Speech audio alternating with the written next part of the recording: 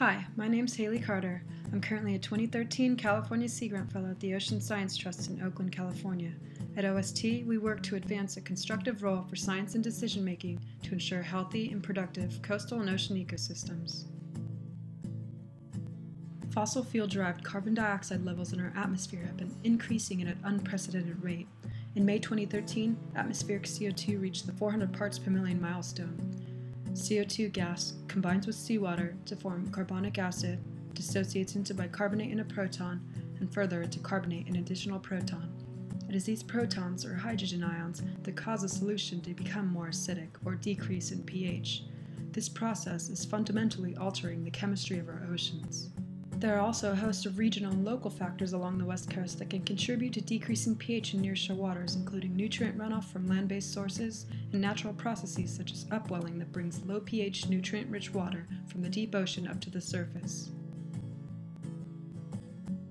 Research has shown that low pH makes it difficult for organisms to form their shells and other calcium based structures that they need to live.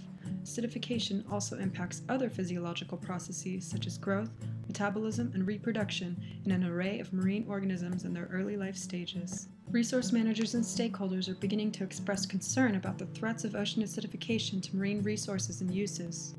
In 2009, the Center for Biological Diversity sued the US EPA for a failure to address ocean acidification under the Clean Water Act. In 2011, Washington state's oyster aquaculture industry, which generates over $200 million annually, experienced a larval oyster die-off that appears to be the result of upwelling of low pH seawater exacerbated by ongoing acidification. In response to the oyster failures, Washington's governor convened a blue ribbon panel on ocean acidification.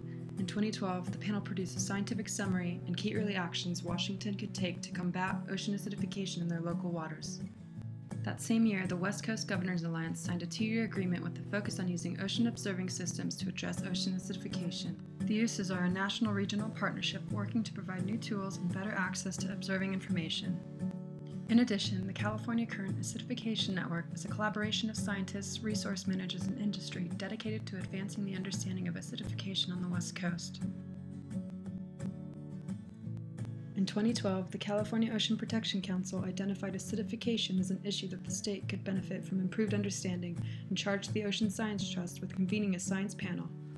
With this exciting effort, experts will come together, building off the successes in Washington state, and generate useful products that serve the information needs of diverse communities and reinforce action on the West Coast with the best available science.